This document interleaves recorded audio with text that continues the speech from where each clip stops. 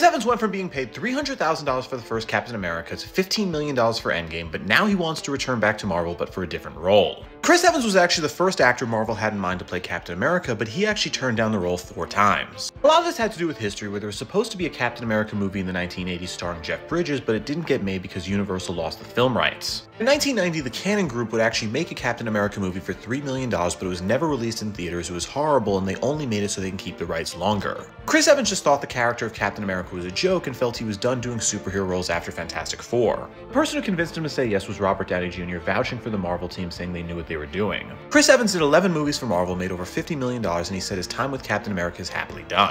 He said the role he wants to return to is Fantastic Four, where the first movie he did made $336 million and the second made $302 million, saying those movies didn't do as bad financially as people think, and now that Marvel's doing the multiverse, he'd happily return. Personally, I think the multiverse stuff sucks, but hey, why not? with that, I'm Charles Peralo, subscribe to learn something.